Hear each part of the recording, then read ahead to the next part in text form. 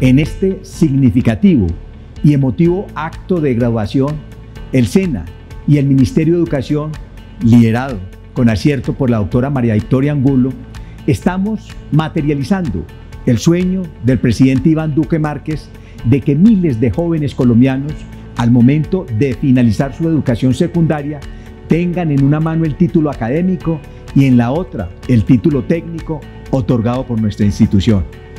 Además de su reconocimiento como bachilleres, reciben la acreditación como técnicos del SENA en áreas afines a la cuarta revolución industrial, economía naranja, agroindustria alimentaria, manejo ambiental y gestión de recursos humanos. Un saludo muy especial a todos ustedes los bachilleres que se gradúan hoy en Colombia.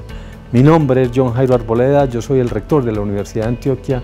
Quisiera reconocer en ustedes un enorme esfuerzo, a ustedes, a sus familias, y los esperamos en esta, su universidad, para construir sueños, traigan sus sueños a las universidades públicas y privadas en el país. Hoy quiero extender un saludo de felicitación a todos los estudiantes que terminan esta etapa. Muy probablemente estarán recordando su primer día de escuela, llenos de risas, de sueños, de ilusiones. Y el mensaje que les quiero dejar hoy es que a pesar de que este año ha sido muy difícil, eh, en lo personal, en lo familiar y atípico para todo el sector educativo, son precisamente esos sueños y esas esperanzas las que no pueden verse disminuidas a pesar de las dificultades que hemos enfrentado. Un saludo especial y fraterno a la generación 2020, la generación de la esperanza.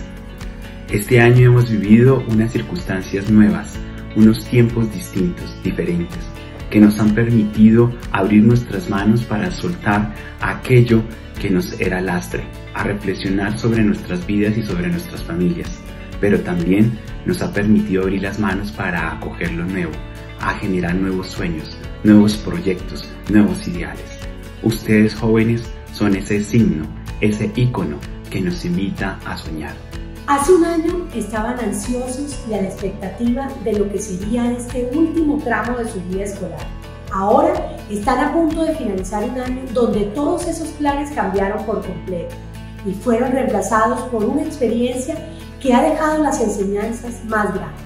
Son estas pruebas las que nos demuestran que en nuestras manos está la manera como afrontamos nuestro futuro.